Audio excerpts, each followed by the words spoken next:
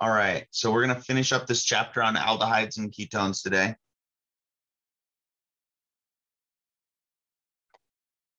And do a bit of review and a bit of synthesis practice since it's been a while.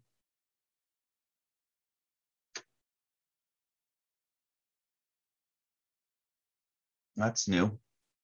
Little thing that says, are you sure you want to stay in this meeting because it's being recorded? I haven't seen that before. Um, so let's go ahead and start by talking about quiz. Um, so first off, most relevant to our class right now is there's a couple places in some textbooks that will use this phrase catalytic H plus. Um, and so I got a question about is catalytic H plus the same as putting H3O plus above the arrow? And the answer is absolutely yes.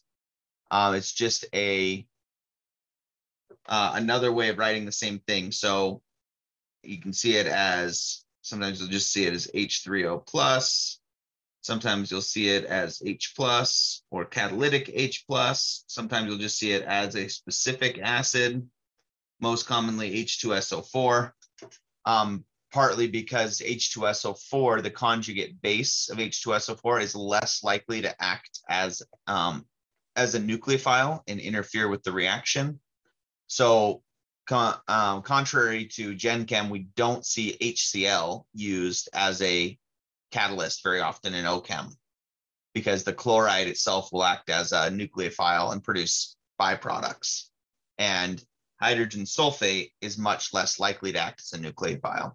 So all of these are um, just different ways of saying you have um, hydrogen or have an acid as a catalyst. So you have your first step is probably going to be protonating something, doing a proton transfer to, to a partial negative charge. Um, anytime you see a an acidic situation, your first thought should be, where can I protonate? So good thing to be paying attention to.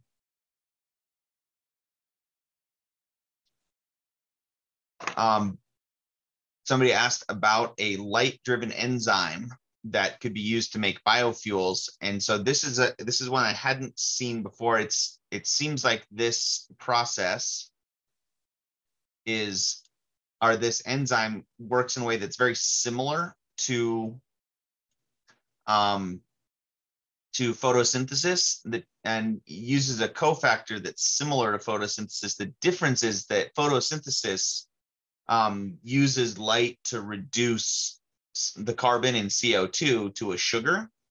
And this is really interesting in that it takes, it's a fatty acid decarboxylase fatty acid photodecarboxylase. So decarboxylation means you're removing a CO2 group. You're removing an um, carboxylic acid group.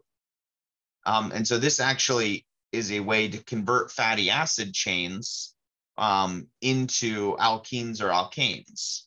And alkenes and alkanes are very useful. Basically, that's what gasoline is, is a collection of different alkanes that are about the same um, molecular weight.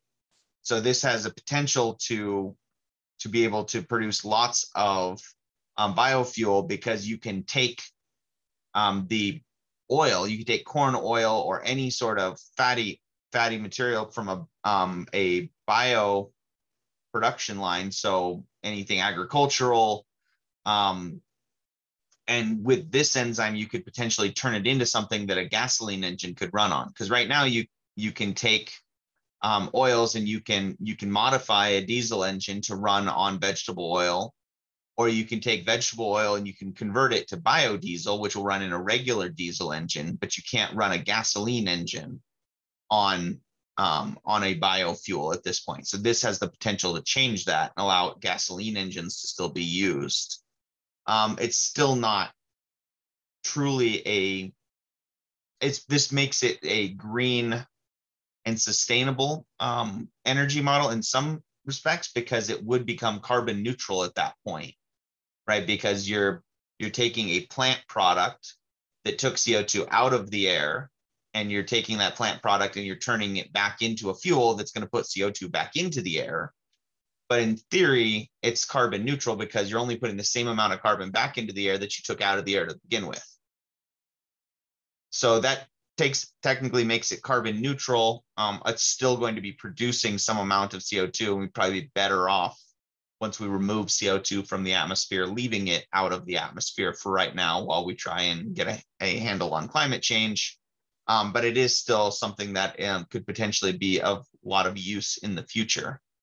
Um, so, and there's, it's unlikely that we will fully get away from um, liquid fuels entirely as a as a society uh, in the near future, partly because there at this point there's still not a better way to move things around the United States other than using trucks and trucks and electric trucks don't have the capacity to travel hundreds of miles um, the same way that electric cars can. So for personal use, electric cars might start taking over, but be pretty unlikely that we fully get rid of uh, liquid fuels entirely. So there's still some potential for this to be useful. And this last one was an interesting question about genomics, um, where they, so this this question doesn't give you the full context. Yeah, yes, yet it's possible that with improved battery life and um, potentially even with improved um, photovoltaics, you could put photovoltaics on the top of a train and have have that train generate enough electricity to keep moving um, as it moves across the the U.S. and not have to burn diesel to generate its electricity.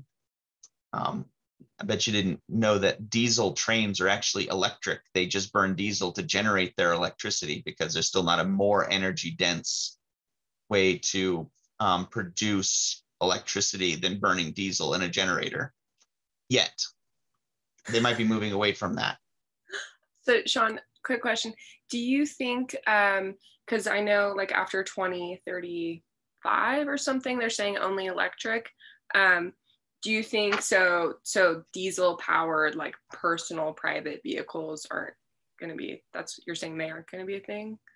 But I, I would I would wager that that that diesel and gasoline in general are going to be used predominantly for commercial applications, not as much for personal applications. But there's going to be a lot of when, all that legislation that says like we need to be done with with fossil fuels. There's so many loopholes and exceptions granted for industry and for military and government use um, that it will be a long time before we're truly fossil fuel free Right. Um, but we're moving that way. And yeah. you know, and going biofuels is a way to at least make it carbon neutral. So we're not making the problem worse, even if it doesn't make the problem better. Yeah, I was just like, oh, if I buy a new car now, am I going to be screwed over when 2030 comes around, you know, and all the gas stations are gone? Yeah, and and you know what I so um my wife and I we have two cars. They're both SUVs that are four-wheel drive because we live up here in the snow and they um and they both have over 200,000 miles on them. Um, so we're looking at getting a new car, and at, right now, it, it's really tempting to replace at least one of them with an electric car. Um, because, but at the same time, it it's really uh, you know we still don't have the charging stations installed at the school yet, um, and things like that. So there's still a lot of of logistical things that prevent the average consumer from getting an electric car. But hopefully, that all gets taken care of quickly yeah, hopefully.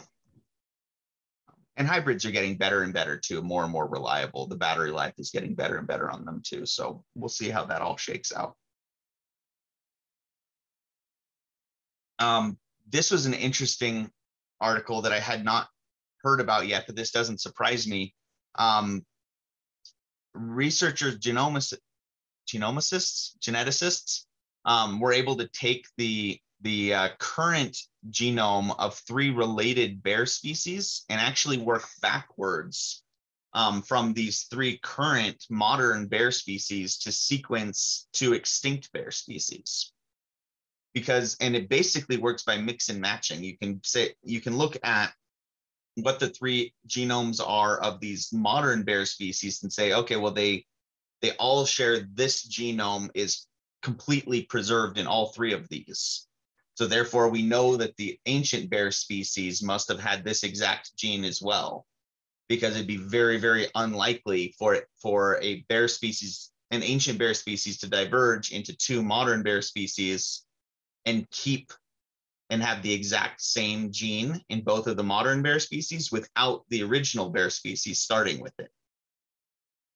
Um, so they basically are able to work backwards and use statistics um, to to work out. Okay, well, if these ancient versions of the bears must have had these these same um, these same genes present in order for for the the modern bear species to exist the way that they do. So this would only work for fairly closely related species and not probably for look going back something as far as dinosaurs. Um, but in theory, if you're only if your ancient ancestor is only a few steps removed, a few evolutionary steps removed, you can take existing modern species and use that to determine what the sequence, the genome was um, for that extinct species.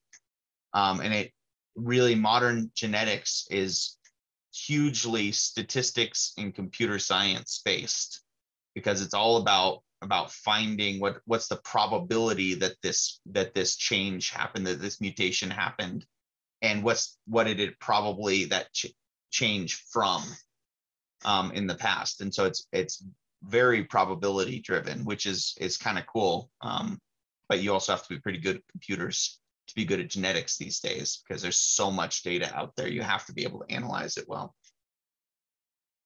Um, which also brings me to a good, um, I saw a, an application the other day of um, there was a huge amount of duplicated work in genetics fields um, because the program that exported the genetics data was not compatible with Excel. Everybody, including top of the line top of their field geneticists uses Excel to analyze their data.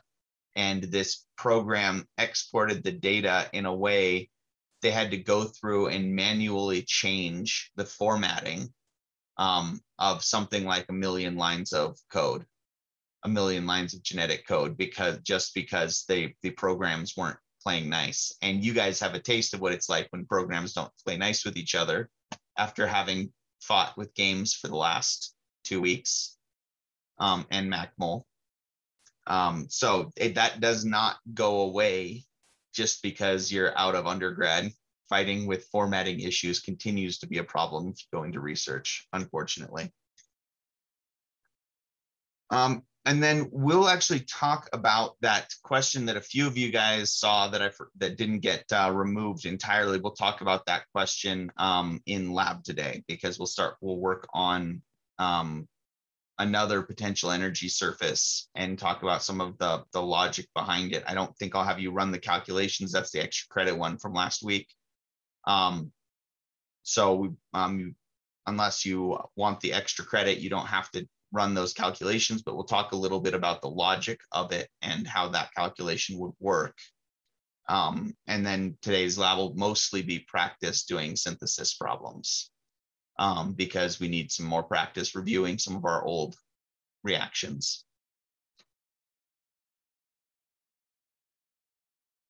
Uh, in general, you guys did pretty well on the on the quiz um, in terms of the reactions.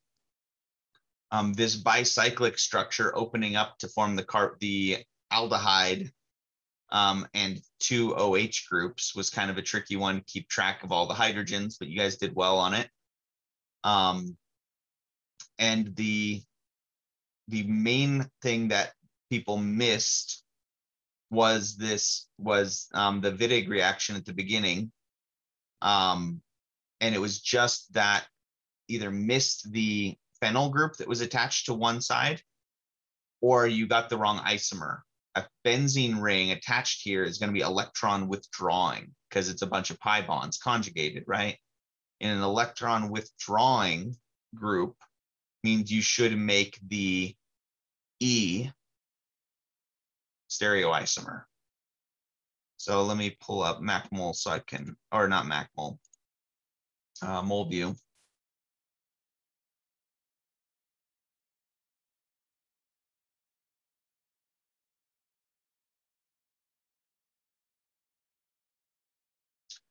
Um, so your product here would wind up looking like, so we had three carbons.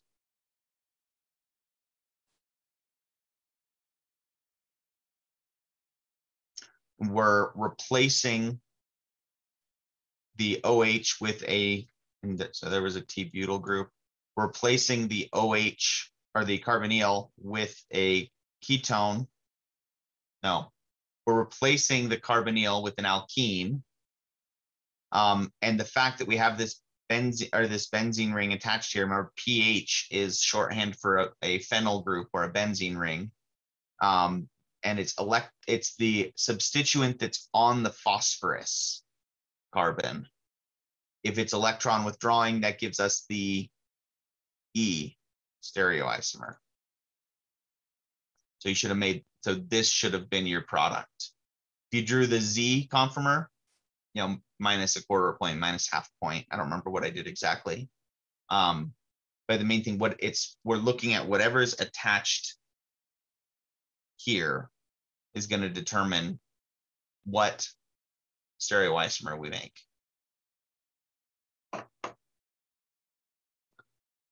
Um, the beyond that, the other common mistake that was made was actually, I believe, was on this reaction down here, um, where you guys didn't necessarily go that second step. Remember, it says minus H2O, which means your final product is supposed to be missing the oxygen.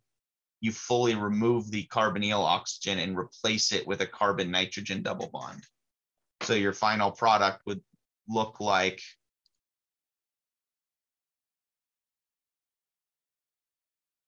something like this.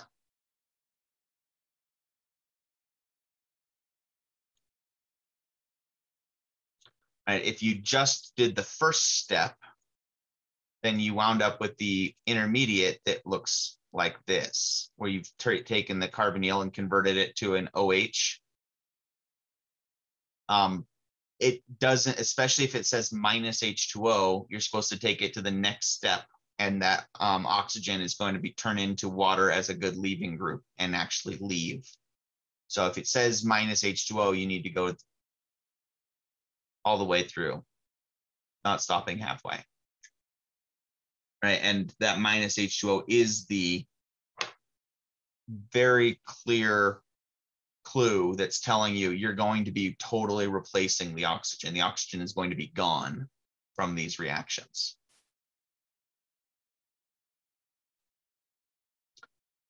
Um, the rest of these, I think you all did fairly well. The last one, again, some of you didn't take that second step. Um, you added the phenyl group where the carbonyl is.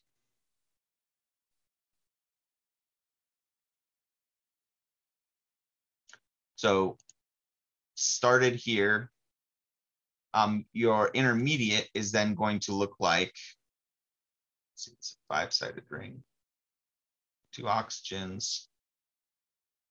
Um, your intermediate will look like single bond here, add a benzene ring attached. So you made an OH group. The second step here is if you add acid to this situation, this acetal group this acetal protecting group gets chopped off and you turn it back to a carbonyl. So your final product here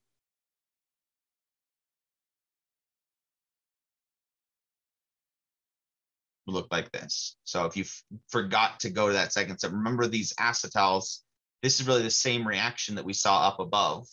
You had an acetal up above that then um, when you added acid to it turned the carbon the acetal carbon back into a carbonyl and then you had two OHs. Do the same thing here. We would chop that off and then we wind up with ethylene glycol as our byproduct. So our other product would be the, with two OHs on it, the diol. All right, but um, in general, you guys were getting the hang of where we're attacking, we're attacking carbonyl carbon with all of these reactions. Um, and just a matter of how it rearranges after that initial attack that separates the one reaction from another in this chapter. Any other questions um, about the quiz at this point?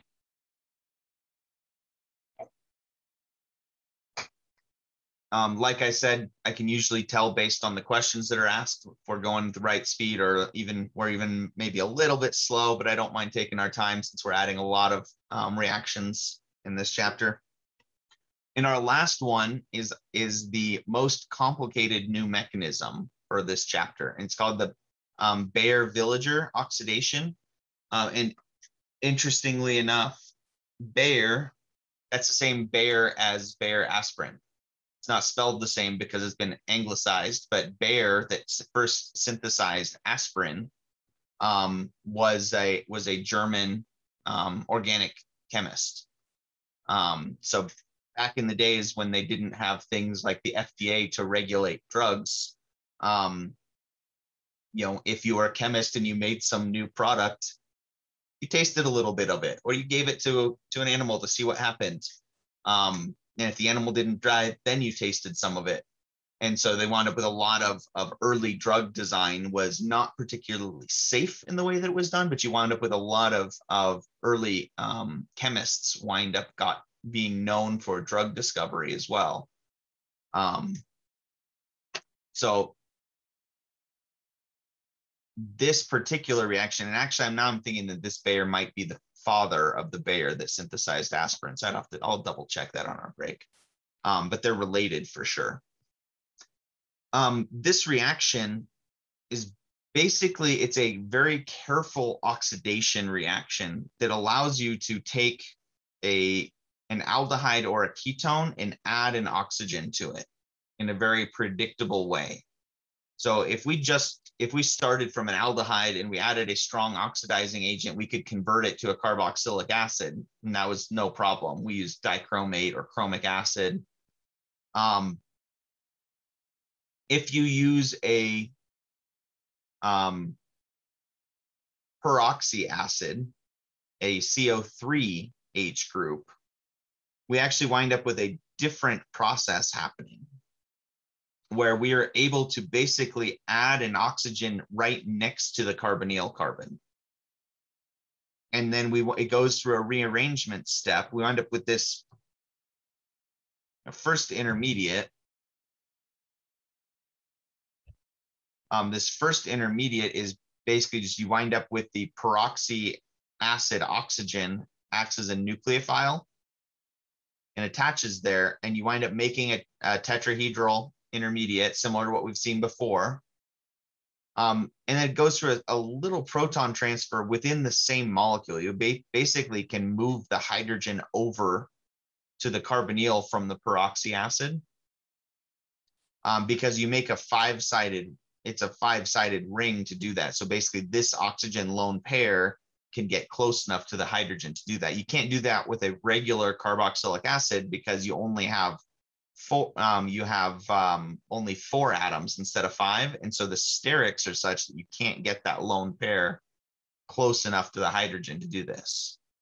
Um, but if it's a peroxy acid and you have that one extra oxygen in there, all of a sudden that changes things and we can do this internal proton transfer.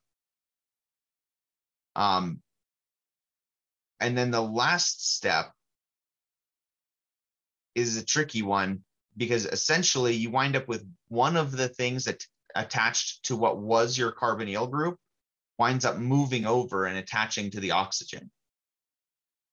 And then you wind up with the other um, two oxygens leaving. So you take your peroxy acid and you turn it to a regular carboxylic acid, and you wind up with one of your R groups migrating over to do a rearrangement and so we turned in a ketone into an ester. So that's a very, very specific way of oxidizing this, not completely oxidizing to the point of burning it. And we can't use dichromate or chromic acid to oxidize ketones because we said that we could only do that if it was a primary carbonyl, if it was an aldehyde um, or a, a, primary alcohol, we could use chromic acid or dichromate to to um, fully oxidize a carbon.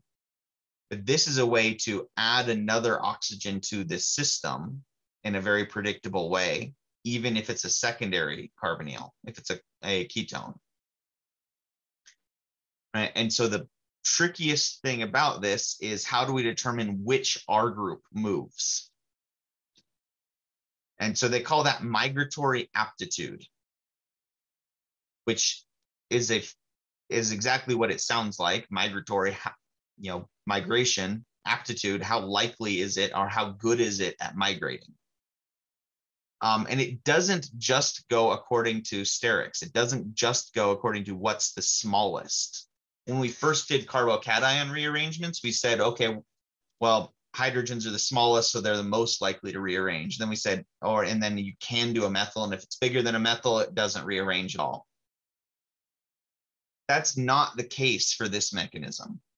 For this mechanism, hydrogens are the most likely to migrate because they're the smallest and most stable with a positive charge.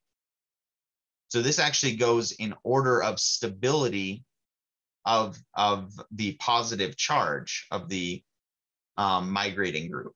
So if a hydrogen is pulled off of the carbonyl as a positive charge, it's really stable. That's why proton transfers are so common. The next most stable is a tertiary carbon. Then the after that, secondary and phenol, phenolic um, or phenyl groups are the next most likely to transfer, then primary, then methyl. So hydrogen's the most likely to travel, and then you kind of go in according to what the biggest group is, because it's that's what's going to be the most stable leaving group. Um, and so this is basically how we pick which of these R groups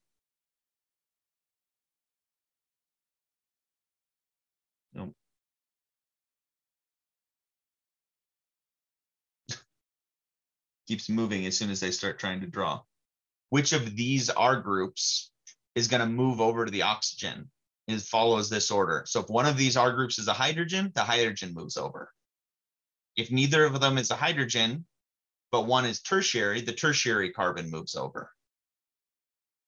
And then if neither of them is tertiary, you look to see if one of them is secondary. And if so, the secondary carbon moves over right? So this is is basically a a flow chart of um, look to see which of these you have closest to the left with the most migratory aptitude.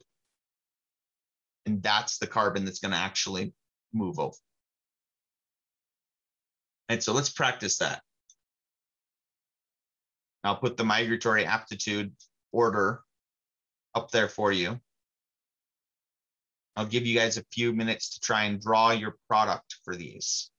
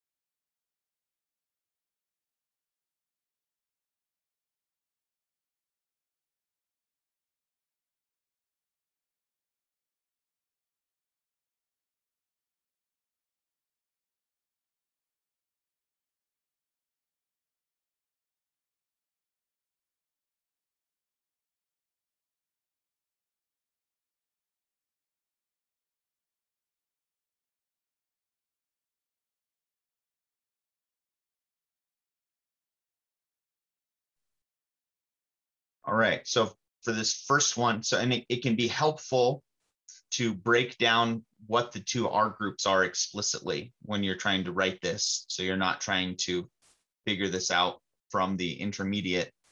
Um, in this case, you're, the R group is what's attached directly to the carbonyl. So our choices are either an ethyl group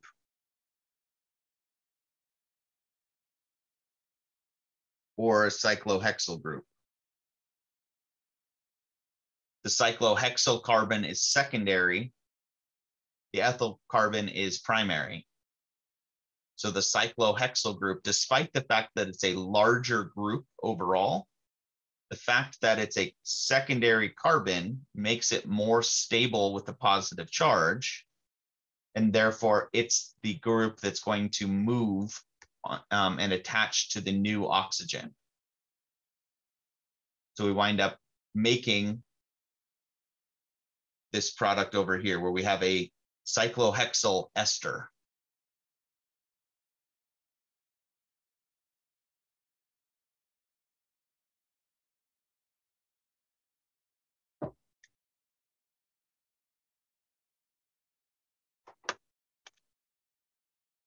All right, so on the second one,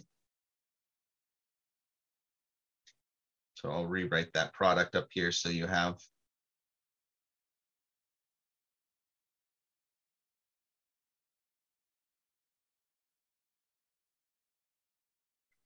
Right, so we have a choice on the second one. We've got our, our first R group is this ethyl propyl. If we were naming that, that as a branch, that would be one ethyl propyl group. Or hydrogen. Hydrogens are most likely migrating group because it's most stable with a positive charge. And frankly, it's also small, and that means it moves quickly as well. So for two reasons, hydrogen makes sense to have the most migratory aptitude. So if we're going to insert an oxygen in between the carbonyl carbon and the hydrogen, our result is going to be a carboxylic acid just like if we if we oxidize an aldehyde using any other method, we got we would get the same thing. So leave everything else where it is.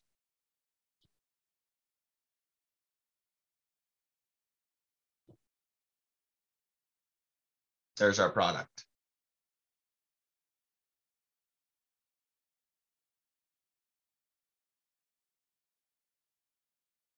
And last but not least, we get one that's not a ring opening or a ring forming reaction. It's a ring modifying reaction, I guess. So we still want to be paying attention to the number of carbons, but we're if we're going to be adding an oxygen next to our carbonyl, we're going to be wind we're going to wind up adding one atom to this ring. So we're going to go from a five-sided ring to a six-sided ring. It's just a matter of do we add the oxygen to the left of the carbonyl or to the right of the carbonyl? And so we've got, that'd be R2. This carbon would be R1. R2 is more carbons attached to it. So R2 is going to be the carbon that moves. So we're going to wind up making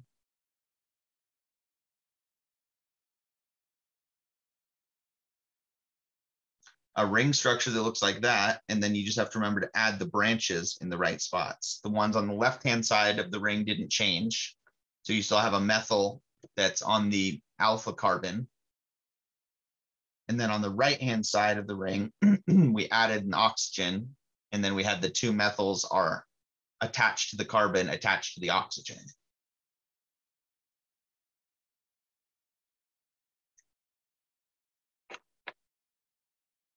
Right? So this, again, this is a, a, a reaction that winds up being fairly useful in terms of taking an existing ketone and adding and turning it into an ester. Um, esters have very different properties than ketones. Um, and so this winds up being something that is useful in terms of pharmaceutical chemistry or in chem chemical synthesis because there's a lot of ketones out there that can be converted into an ester this way and that changes their properties significantly um, both in the body and chemically.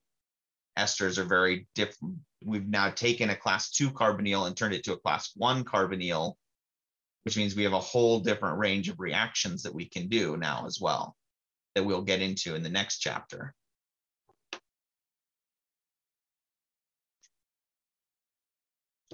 And while we're at it, might be a good time to look at um, our schedule. So we have, we're in week five right now, right? This is beginning of week five. And uh, if we want to double check and make sure we actually have our midterm coming up next Thursday. So this coming Thursday, I will get you a study guide or a practice midterm um, so that you guys can start getting ready on it. And we're a little bit behind. We're still finishing up um, chapter 19 right now. I think we we will still we will still be able to get um, chapter 20 in between um, this coming Thursday and next Tuesday because it's basically one reaction done a whole bunch of different ways. Um, where so it's just going to be adding new functional groups, and it's going to be nucleophilic substitution reactions as opposed to nucleophilic addition like we've been seeing. So I think I don't think we'll get chapter 21 in before the exam. Oh, that's a, yeah. In the exam review will be next Thursday during our um, lecture time, and the midterm exam will be like we've done in the past. Pick two hours sometime over the weekend. Do your test. Um, before sometime before before um, Sunday or Monday at midnight. Um, and if you need additional time, um, or if that time doesn't work, if you need the, the test early, or something like that, just let me know and we can work with you on um, on timing for that. But it's going to be sort of at your own, not at your own pace because it will be timed, um, but sort of pick your own two hours sometime on between Thursday and and Monday to take that test.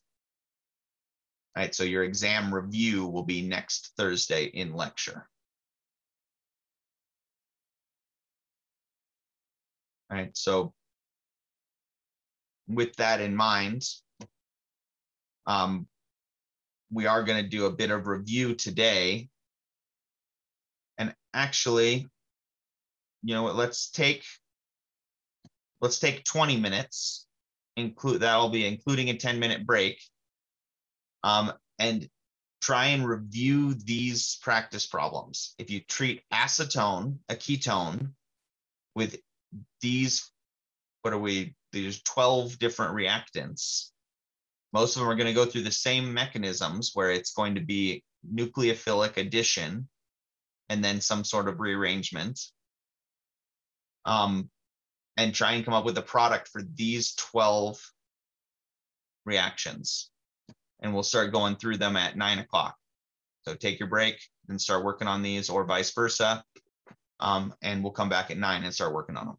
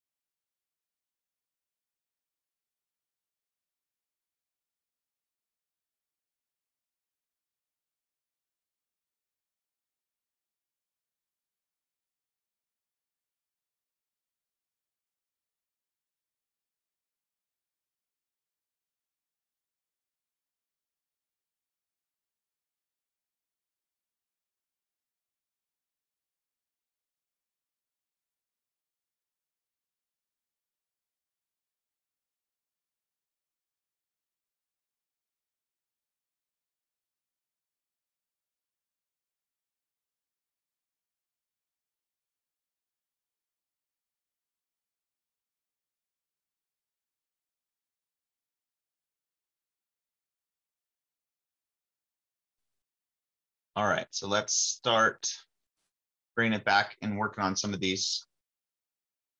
So if we have a primary amine or just ammonia, we're going to wind up with that um, imine group where we have a carbon nitrogen double bond. So we're basically just replacing the oxygen in acetone with um, with a double bonded nitrogen.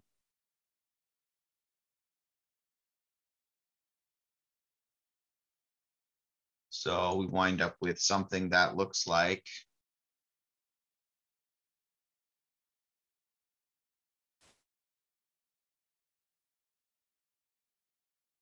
So remember acetone is just propanone. So we wind up with something like this. 4A. And I'm just gonna go the left side first and the right side so that I can keep my MolView window open that way. I don't know if I could see what you're doing there. Oh, thank you. Yeah. Forgot to hit resume share.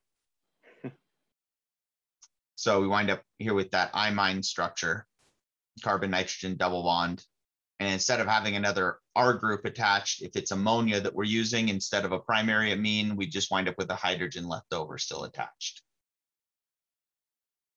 Um, if we do a dehydration reaction with an alcohol, we turn that alcohol into an acetal attached where the carbonyl was.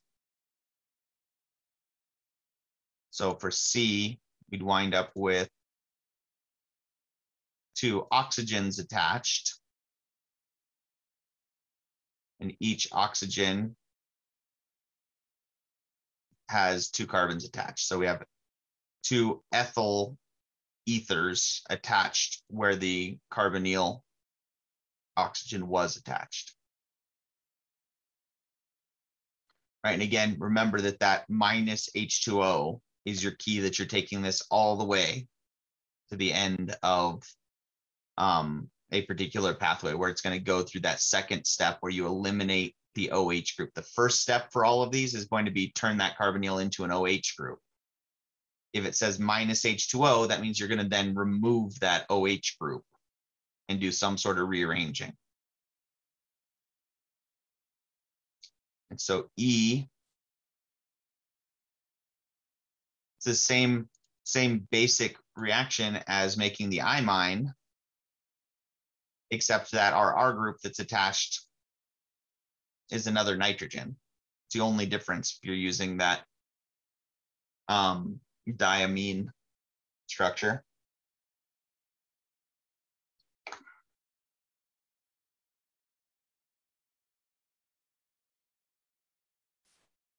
For G, if we expose this to a hydride source, we're going to go through an addition reaction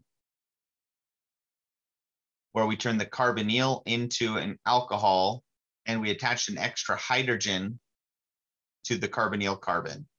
And that methanol is just acting as a proton source to protonate your oxygen anion at the end right? So initially, when you first wind up with the hydride attaching,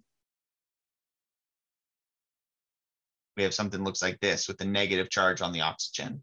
And so the methanol is just acting as that proton source to turn that into an alcohol. And again, that's that's one that we've seen before, right? We saw that one all the way back in the alcohol chapter back last quarter.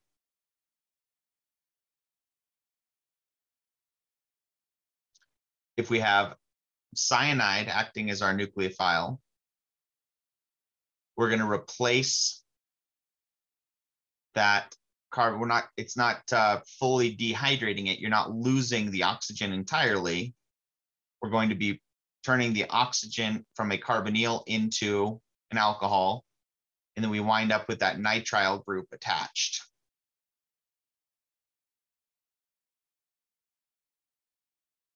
right, which can then go through other reactions. You can either fully reduce this and turn that into a primary amine, um, or you can oxidize it and turn it into a carboxylic acid and remove the nitrogen entirely.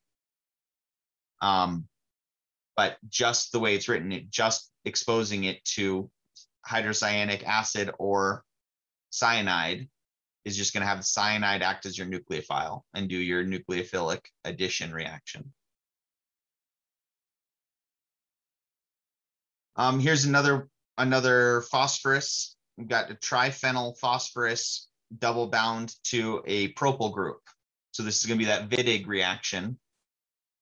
And it might be helpful in this case to draw out what your Wittig reagent looks like so you can see what whether you're going to get the E or the Z. So our two reactants in this case. We're going to start with our acetone. Then it's going to be reacting with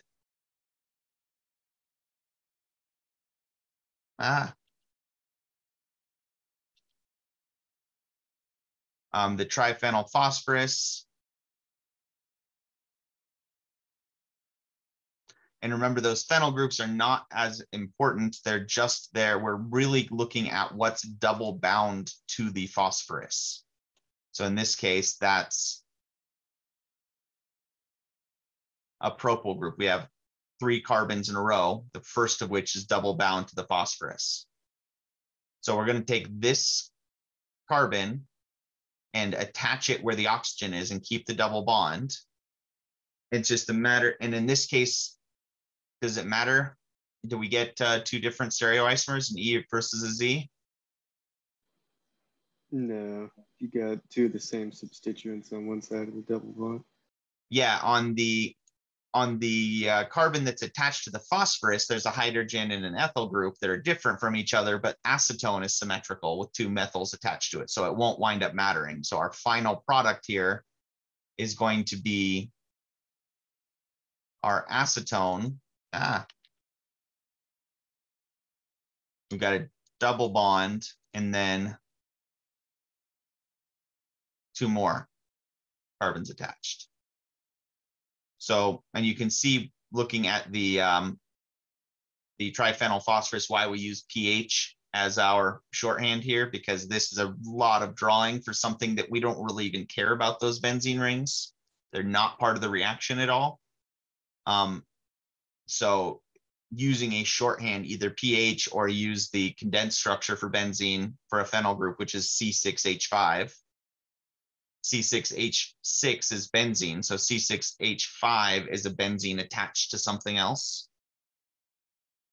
Um, those are really commonly used as shorthand for phenyl groups, um, especially when you don't want to have to draw out the entire structure. All right, questions so far on those on that first half?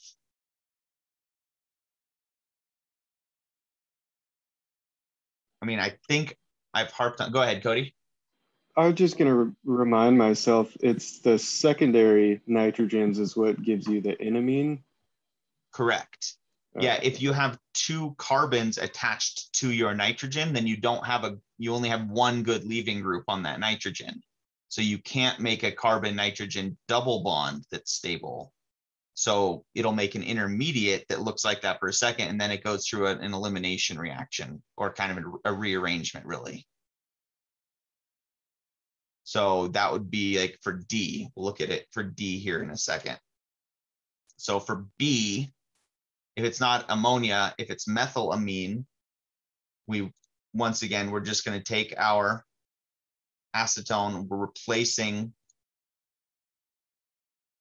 the um, carbon oxygen double bond with a carbon nitrogen double bond, and we get a methyl group still attached to it. If it's two carbons attached to the nitrogen to begin with, if it's a secondary amine, we wind up with this as our intermediate with a positive charge on that nitrogen. And we know that having a positive charge on that nitrogen is possible. Um, you can get a nitrogen with four bonds, but it's not all that stable. Nitrogen is more stable when it's got its lone pair. Um, so it goes through another elimination reaction. So one of the hydrogens next door. I'll draw all the hydrogens for the sake of showing the complete structure. In this case, both of the methyl groups attached to the carbonyl were identical, so it doesn't matter which one, one of these hydrogens is going to be removed by either some remaining base still around or from the oxygen that was kicked off the molecule. Um, and you're going to wind up with that pi bond moving over.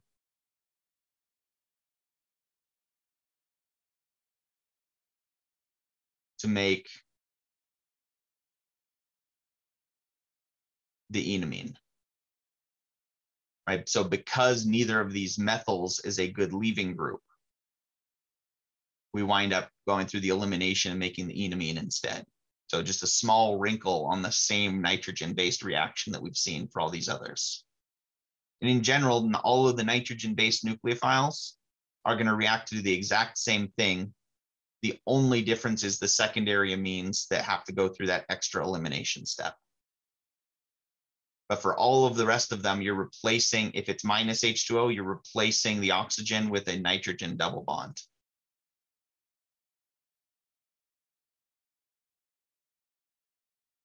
So for F, for instance, we'd be, we are making an oxime is the functional group.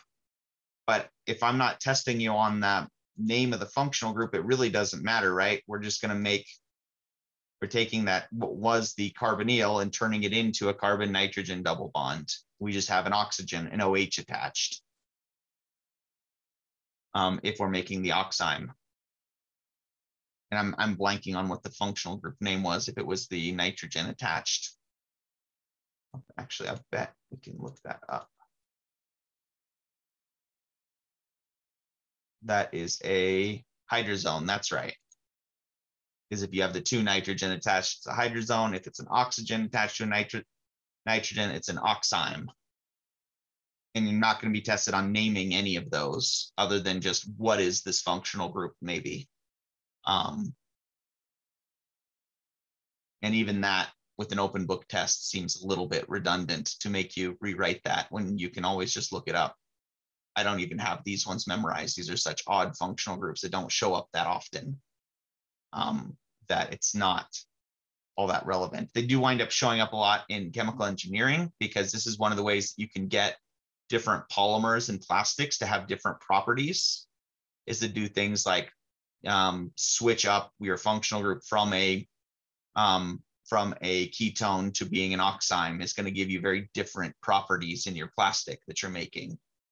Um, so this is one of the various ways you can get, you know, say a Nalgene type of plastic versus styrofoam versus um, PET versus um, polythene are going to be adding these different sort of odd functional groups um, that are less common, but are going to have slightly different properties.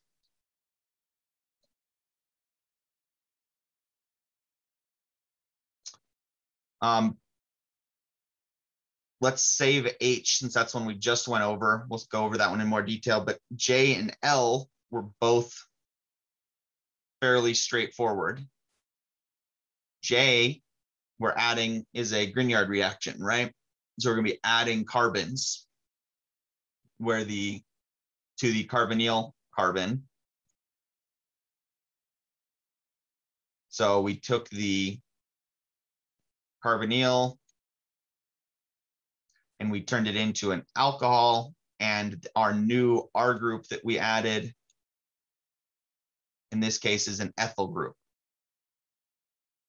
So we wind up making um, methyl methyl 2-butanol, 2-methyl 2-butanol be our product in that case. And lithium aluminum hydride is going to give us the same product as sodium borohydride, right? It's a, just another hydride source. It's a stronger hydride source, but if we're already at class two carbonyl, there's really no difference as to how they're going to react. So we're going to be taking that um, carbonyl and adding a hydrogen to it. And then the following the water is with water is going to give us the protons to protonate that oxygen. So we'd wind up with the same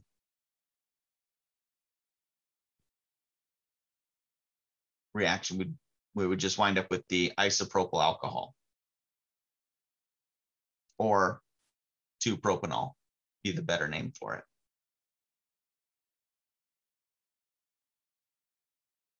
So this last one, the peroxy acid, that's when we just added the Baeyer-Villiger oxidation. So if we start by drawing out our reactant, remember we're trying, the net result of this product was we're gonna insert an oxygen in between the carbonyl carbon and one of the other R groups. In this case, our two R groups are identical, right? So we're going to wind up adding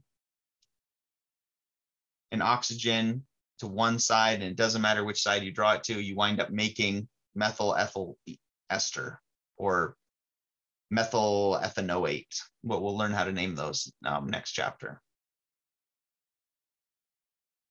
All right, so again, the trickiest thing about those peroxy acids is if they're two different R groups, you have to look at that migratory aptitude to determine which R group moves over to the oxygen. And it follows in order of what is the more stable cation. So hydrogen would move first because that's the most stable cation, then tertiary, then secondary or phenolic or um, phenyl, then primary, then methyl. Right, so it follows our rules for carbocation stability. All right, any questions on this half?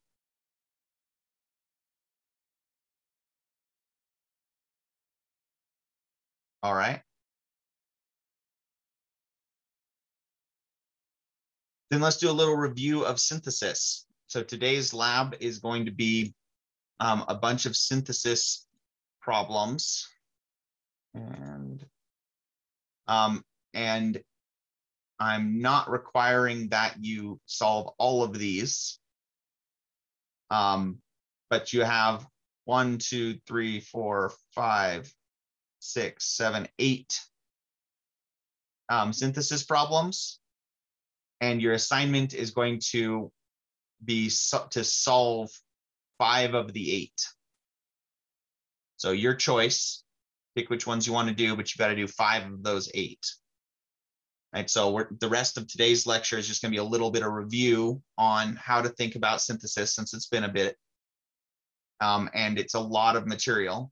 There's some more practice problems here. Um, we'll come back to these if if we have time.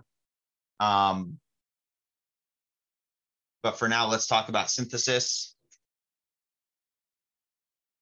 Actually, you know what? if you want more practice with the simpler reactions, we'll go over these in lab later today. So you have a chance to work on some of these yourself, some of the simpler ones. Um, but for now, we'll focus on synthesis.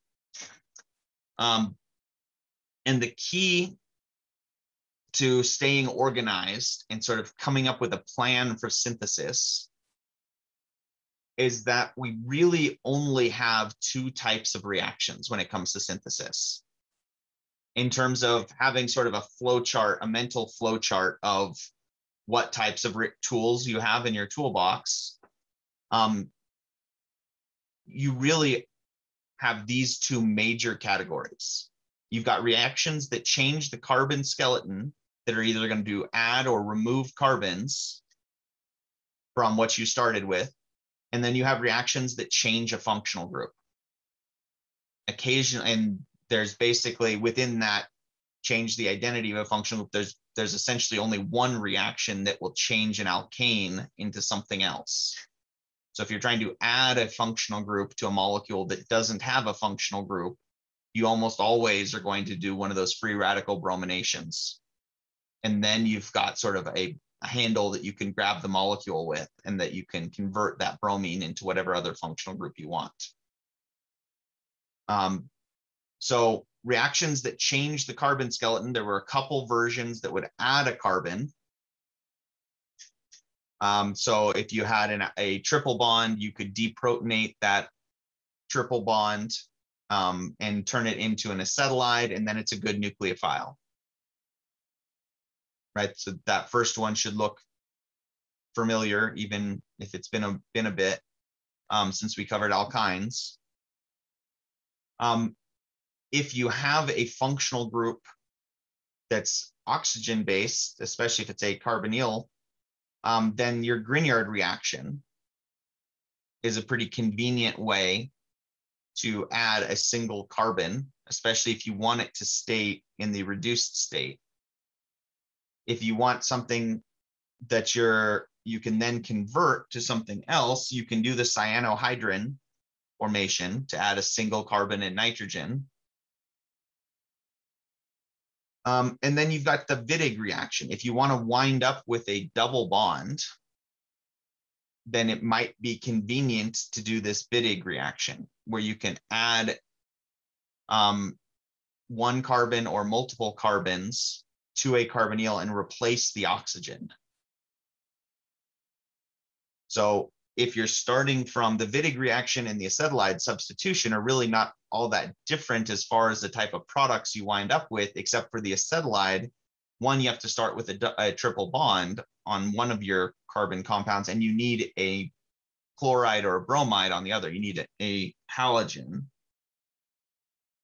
on the other.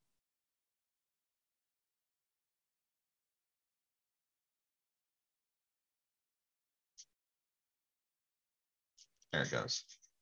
Um, if you have if you have an oxygen instead of a halogen already on your molecule, it might be more convenient to go with the Wittig reaction instead.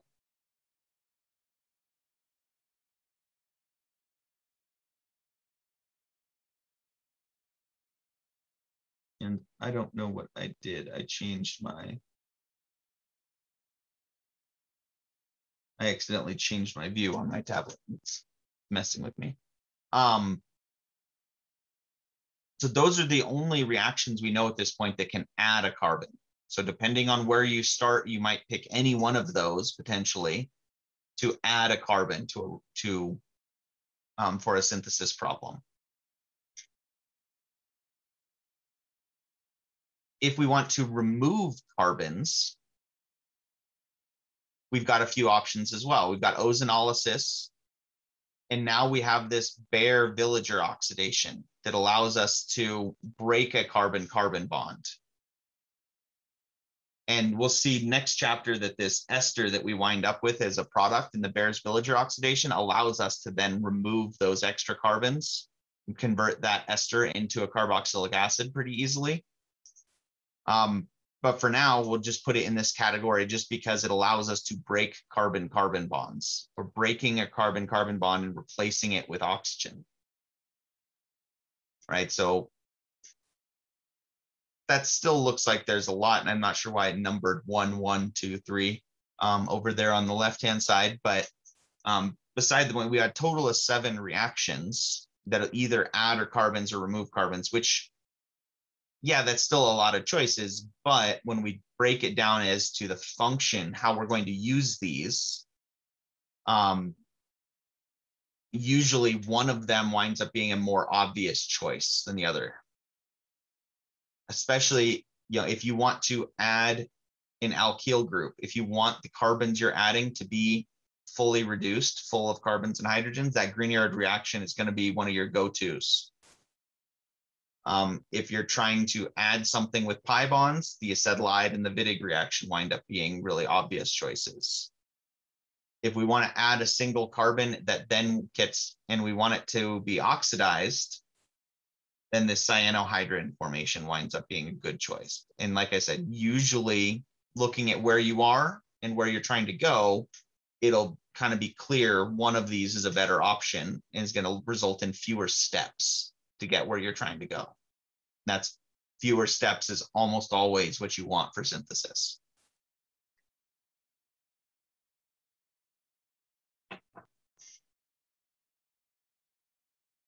Um, and just a reminder of the difference between ozonolysis reactions. Ozonolysis of an alkene gives you class two carbonyls, Um, and this page shows that you can actually make formaldehyde. Really, if you did ozonolysis and you chopped off a single carbon at the end, that would wind up turning to CO2, as we've seen in our textbook before.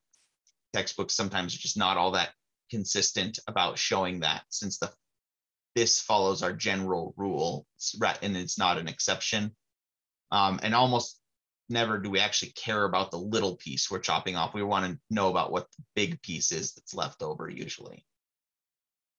Um, and then if it's ozonolysis, oh no, there was ozonolysis of the alkyne that turned it into CO2. If you chop the one carbon off of a terminal alkyne, it turned into CO2. That's what it was. Um, and but if it's an alkyne, you get the carboxylic acid, which then you could reduce that to an aldehyde or an alcohol um, to then turn it into what you want. So this these ozonolysis reactions are really convenient ways because they leave you with a good functional group. We can then turn into something else pretty easily.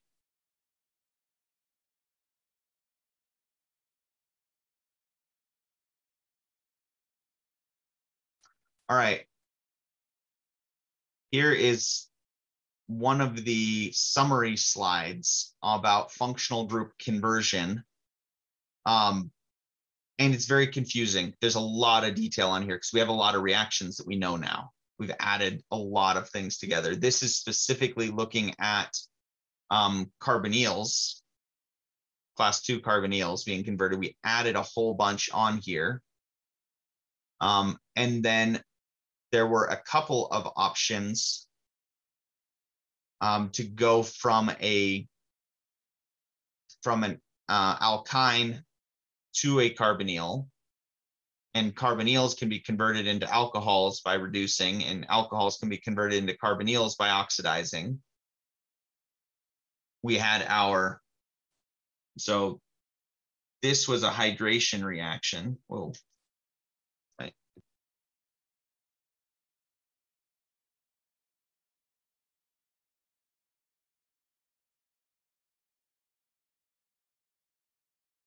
Um, and we can control which carbon got the carbonyl by going with the Markovnikov versus the anti-Markovnikov reaction. So that might be one that you need to, to go back and review. How do I get the carbonyl to go on to the more substituted carbon versus the less substituted carbon? Remember that was Markovnikov's rule. And we had really a, one good option for either way. The mercury catalyzed hydration gave us the Markovnikov product where we put the oxygen on the more substituted carbon. And the hydroboration gave us the um, anti-Markovnikov product. So if your reaction, if your reactant involved mercury, that was going to give you the Markovnikov product. If your reactant involved BH3, that gave you the anti-Markovnikov.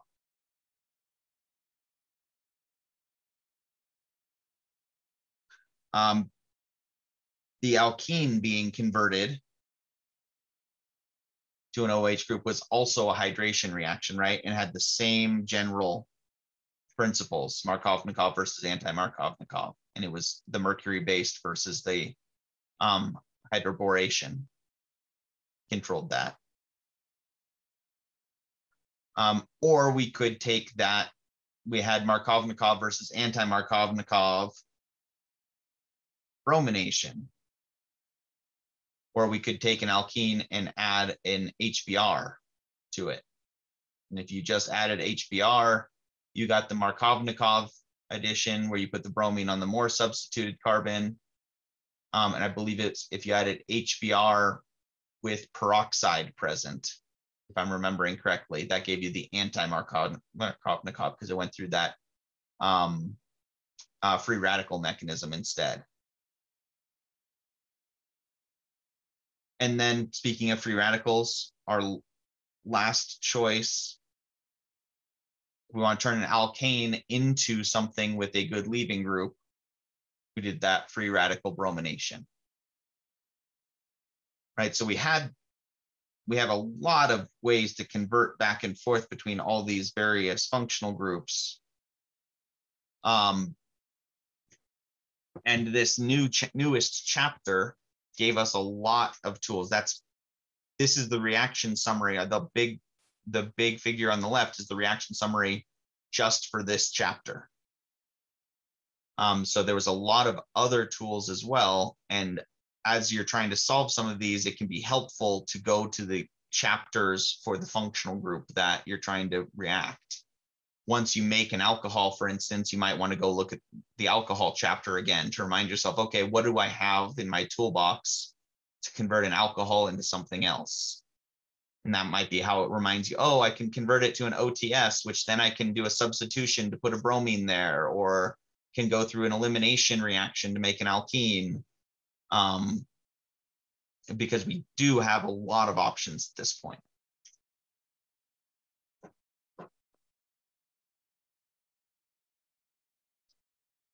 Um, and let me double check that these are not the reactions in your synthesis practice, and then we'll do a few of these. Yeah, these are different.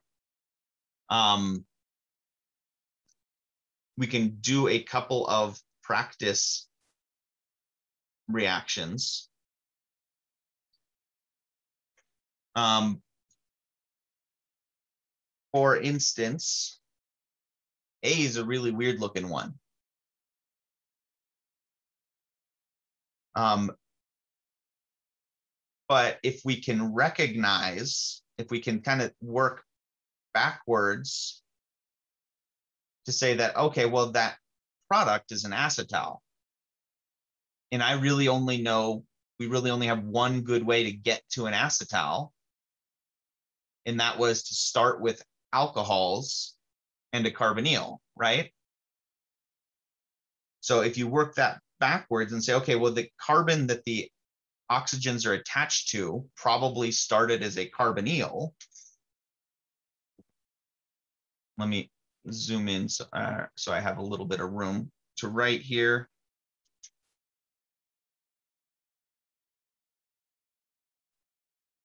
Well, if that carbon was a carbonyl carbon, if we start counting the other carbons, it was there's three carbons and then an oxygen to the left. We look at these. Then there's three carbons then an OH to the right. So we're probably looking at, so one, two, three, then an OH. One, two, three, then an OH. And the fact that we're, both of these are um, going to attack the same carbon and we're making this bicyclic structure. Let's see, is that going to be oxygen, carbon, carbon, carbon, carbon? Yeah. So this is the molecule that we must be starting from to get to this weird bicyclic acetal structure.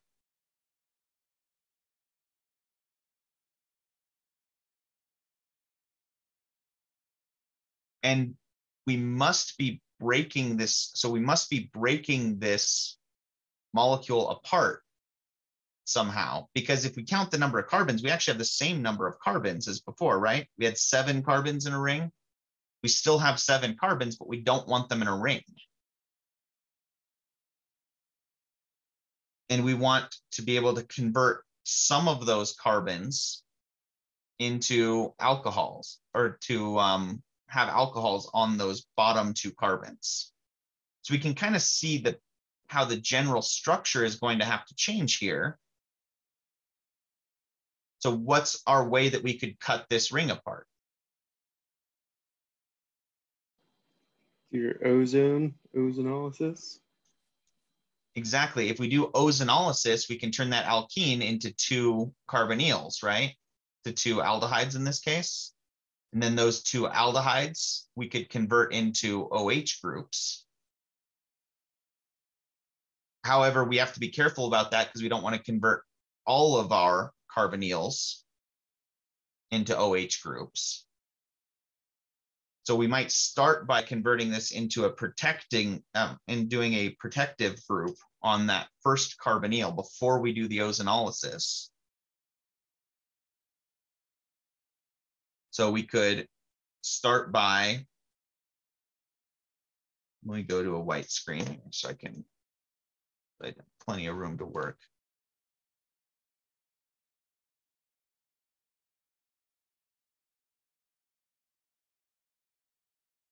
So if we start from our heptagon, so see if I can draw a seven-sided ring structure. One, two, three, four. Uh, that looks like seven carbons to me, right? Yeah, that's not half bad. So before we do our ozonolysis, if we expose this to ethylene glycol, um, so the condensed structure which looks like this, that was one of our common protecting groups. If we don't want a carbonyl to react, one of the ways we can do that is by protecting it by converting it into an acetal.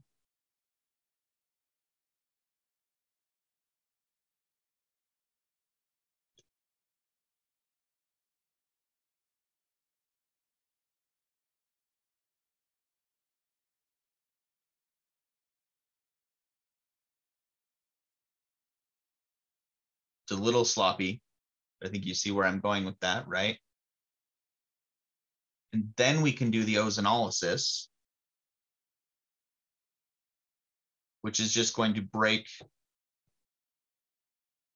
that double bond and put two carbonyls in its place. And then those can be reduced to turn them into alcohols.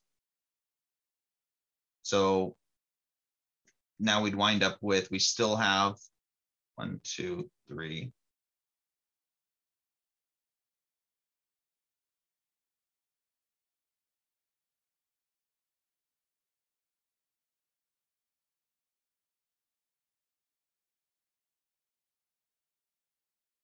So trying to keep it drawn the same way so that we can see the relationship between these two structures. Now, if we reduce that with any reducing agent, but sodium borohydride would be a pretty good idea, or lithium aluminum hydride. That's going to take the two carbonyls and turn them into primary alcohols, but it's not going to do anything to the acetal. So then we wind up with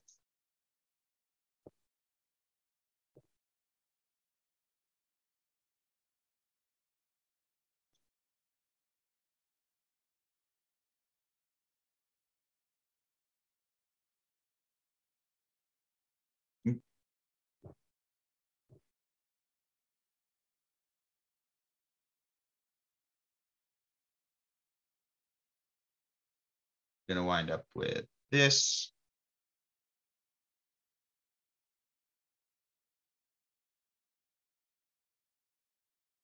Which now we can remove that protecting group by just exposing it to acid and we'll put that carbonyl back in the middle of this chain.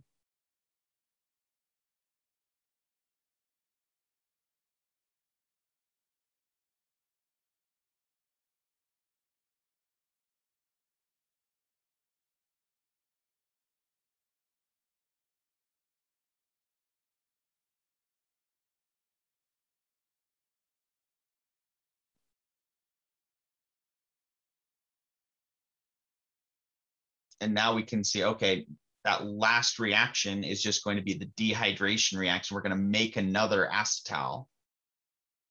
Once we get to this product, we can we can do the expose it to acid minus H2O, which I've now run myself out of space. I'm going to remove, I'm going to erase the first one.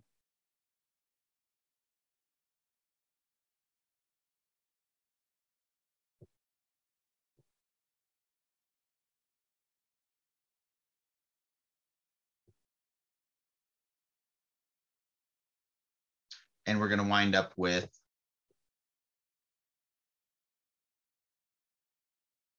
both of these oxygens attaching to that carbonyl and our carbonyl leaving. That's going to give us our final product that looks like this.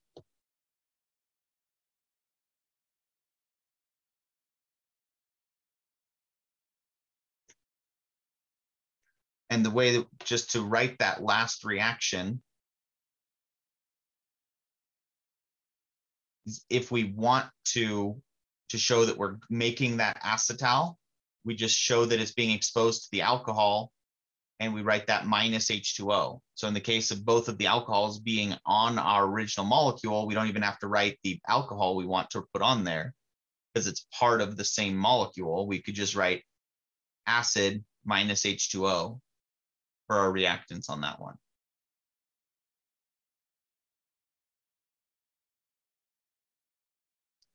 Right, so you don't always need to go to do that retrosynthesis all the way back. You don't need to work everything backwards for every step. Sometimes it just takes, if you work it backward one step, that's enough to show you where you need to go. And then you can start to see some of the pieces falling into place. Um, and it really is process of elimination. If you only have one good reaction to make your final product then that tells you what the step your second to last step is. And then if you only have one good product reaction to make that that tells you the step before right? So it's it's takes practice um, to start to be able to see some of these pieces moving around in your head. And remember, these are mostly going to be coming from this chapter. So you're going to be seeing a lot of the reactions from this chapter showing up here. There's some other reactions in there as well. Um, but it's not a bad idea to look at this chapter's reaction reviews first. So for instance, so A, we've got alkenes moving around and we need to be adding um, and we need to be adding some carbons and we want an alkene bond in between the carbons we started with and the new carbons. So that right there, the fact that our new carbons are connected to our existing carbons with an alkene group tells that's a really good hint that we might need to use a Wittig reaction.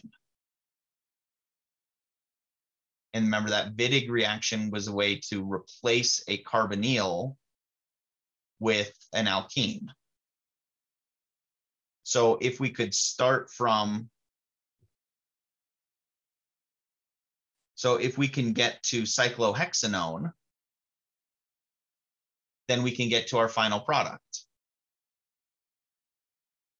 So then it's a matter of taking cyclohexene and figuring out how you can get to cyclohexanone, which is going to involve some oxidation steps because you have to add an oxygen somehow or maybe a hydration.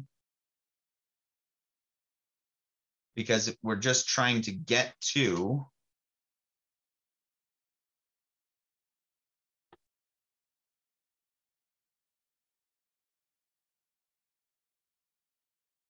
If we can get here, then a Wittig reaction takes us the rest of the way.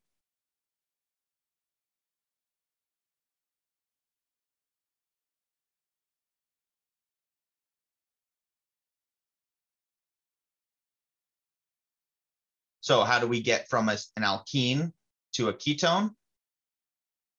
Well, there's a couple of options. We can make a ketone if we do a hydration of an alkyne, but that would mean we need to find a way to convert our alkene to an alkyne and it's on a cyclo group. So that's probably not all that likely. Or we can take our alkene and turn it into an alcohol and then oxidize our alcohol to a ketone. Might be a more efficient way to do it. Right, but, and so that means if we were going to continue go, doing the backwards reaction, to make that cyclohexanone, we would want to make cyclohexanol.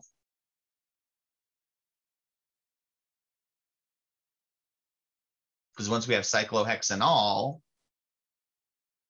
we can do we can do an oxidation step with any reaction, any oxidation oxidizer that we want. Um,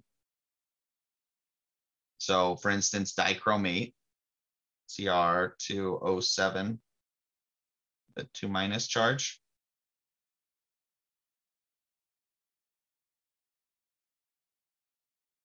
So now it's just a matter of taking cyclohexene and getting to cyclohexanol.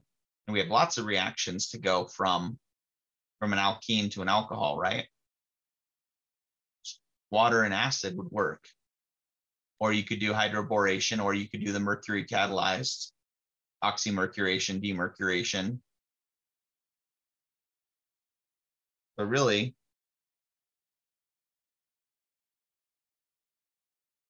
acid in the presence of water is going to give you that that very first addition reaction we ever looked at, right? The one that we just did in GAMESS in our calculations last week, two weeks ago, was taking ethene in that case and adding water to it. Here, we're taking cyclohexene and adding water to it, but the net reaction's the same.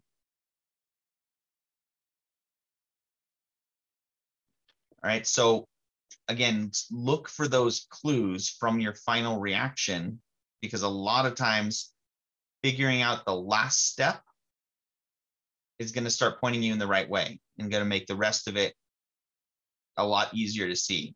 The shorter the synthesis is, the easier it is to see, right? So even just shortening the synthesis by one step in either direction, if you can figure out what your first step is, or you can figure out what your last step is, is going to make things a lot easier to start seeing how the pieces fit together.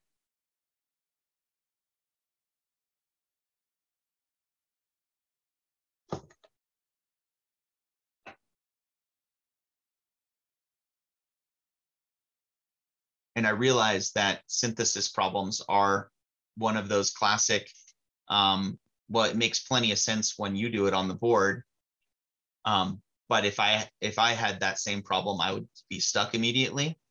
Um, but there's there's no substitute for seeing some worked examples and then trying to to do it on your own, even if you do get a little stuck. Some of those eight synthesis problems you have to choose from, you're going to be able to see either the first step or the last step pretty quickly, depending on where you're starting and where you're ending. Um, and the ones where you can't, maybe leave those and see if you can find some one of the other ones and we'll go over them.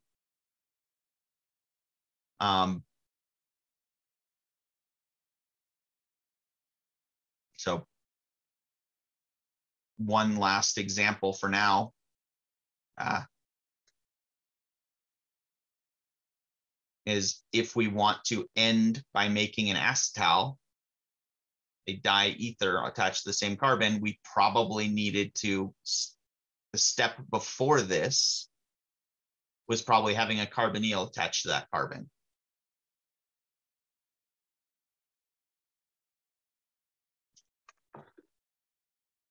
So if we're trying to make this molecule, again, now it starts that's a lot, maybe not a lot easier, but that at least points us in the right direction. We need a way to make a ketone. And we start with a dibromide. So one of the ways, the two ways that we make ketones are we either take a secondary alcohol and oxidize it. Okay, so there are three ways. Um, ozonolysis would be one way, but then we're chopping off carbons and we don't want to do that because we have all the carbons where we want them on this one. We could take a secondary alcohol and oxidize it would give us a ketone. So if we had a way to turn this starting material into the secondary alcohol, we could do the same thing we just did on the previous step, on the previous example. Or we can hydrate an alkyne was another way of doing that, right? So this is one where there are two solutions that I think actually wind up being the same number of steps. We can either do a double elimination here to make a terminal alkyne,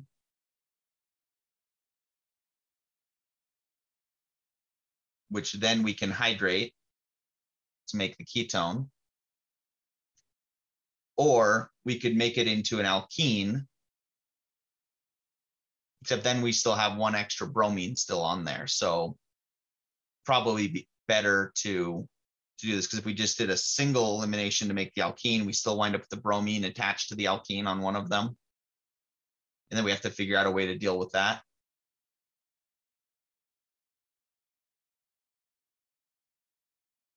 right? So again, your starting material and where you're ending, try and figure out one step either side. And a lot of times that will start making it clear what route you need to go.